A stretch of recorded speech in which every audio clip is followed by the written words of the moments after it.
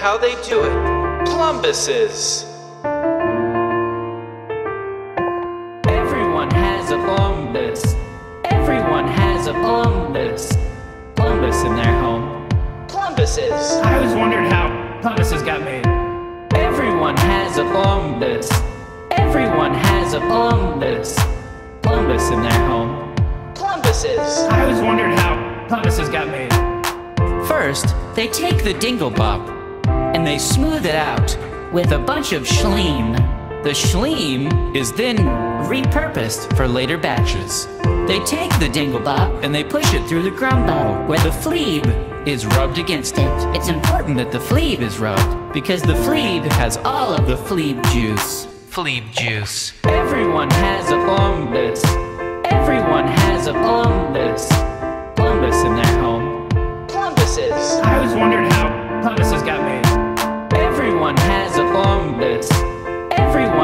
plumbus.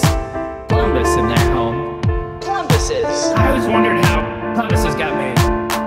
Then a Shlami shows up and he rubs it and spits on it. They cut the fleeb. There's several hazards in the way. The blamfs rub against the chumbles, and the ploobis and grumbo are shaved away. That leaves you with a regular old plumbus.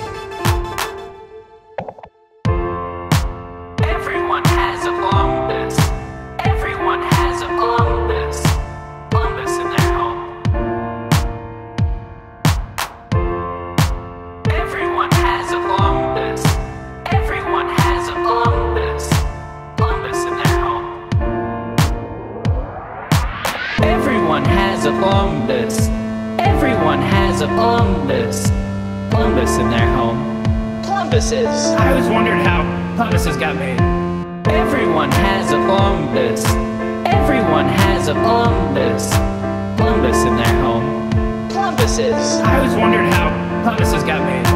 Everyone has a plumbus. Plumbuses. Everyone has a plumbus. Plumbus in their home. Plumbuses. I always wondered how plumbuses got made. Everyone has a plumbus. Plumbuses. Everyone has a plumbus. Plumbuses. Plumbus in their home. I always wondered how plumbuses got made.